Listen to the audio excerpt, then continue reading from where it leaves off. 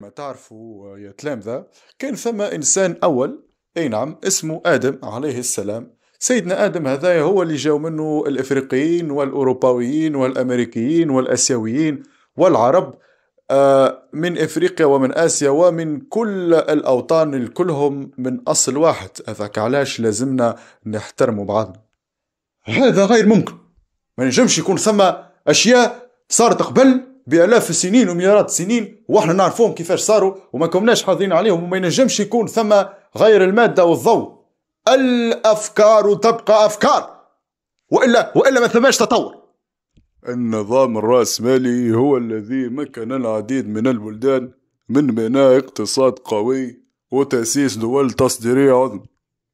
وحسب المجلة الجزائية رقم 15 و 569 فإن الرأسمالية هي الطريق الوحيد للتقدم وبناء عالم جديد عن طريق العولمة الجديدة الاستثنائية التكبيرية الوطنية الحماية. هذا غير ممكن فهمتني ولا؟ لأنه الرأسمالية هي طريقة جديدة فهمتني ولا؟ في تحكم في الإنسان وفي العاملين وفي الخدام اللي هي نوع جديد أي نعم من العبودية. هذاك علاش نقولوا اللي الاستعمار ما وفاش أي نعم ما وفاش الحماية الفرنسية من فضلك. هذا غير ممكن. نحن في طنبك الاستعمار يجب توحيد العرب ضد العدو الذي يريد تقسيمنا sachant que le nombre d'Arabes est de 400 millions et les États-Unis d'un nombre noté X.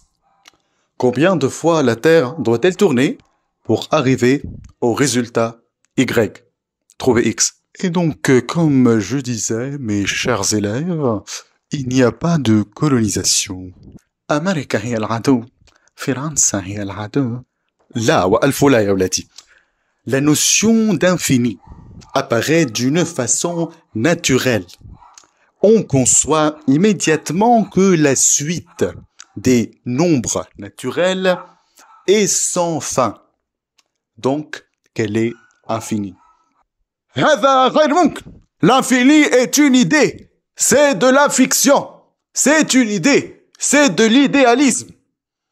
Il faut éliminer l'infini. L'infini n'existe pas, c'est un ennemi. L'infini, roue